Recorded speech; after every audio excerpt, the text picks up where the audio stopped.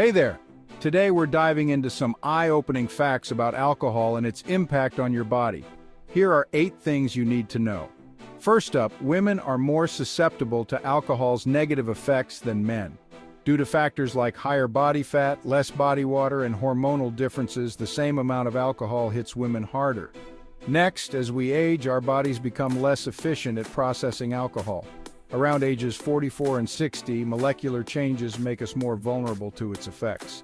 This means even moderate drinking can pose greater risks as we get older. Third, alcohol disrupts sleep. Even small amounts before bed can mess with your sleep patterns, elevate your heart rate, and increase the risk of sleep apnea. Fourth, drinking on a plane is a bad idea. It worsens the effects of high altitude, reduces blood oxygen levels, and impairs sleep quality. Number five, anxiety. Ever feel anxious after a night of drinking? That's because alcohol messes with neurotransmitters that regulate anxiety, leaving you feeling uneasy. Sixth, alcohol's toxic byproduct acetaldehyde causes nausea and fatigue. This nasty compound contributes to those awful hangovers. Seventh, the good news, your liver can regenerate.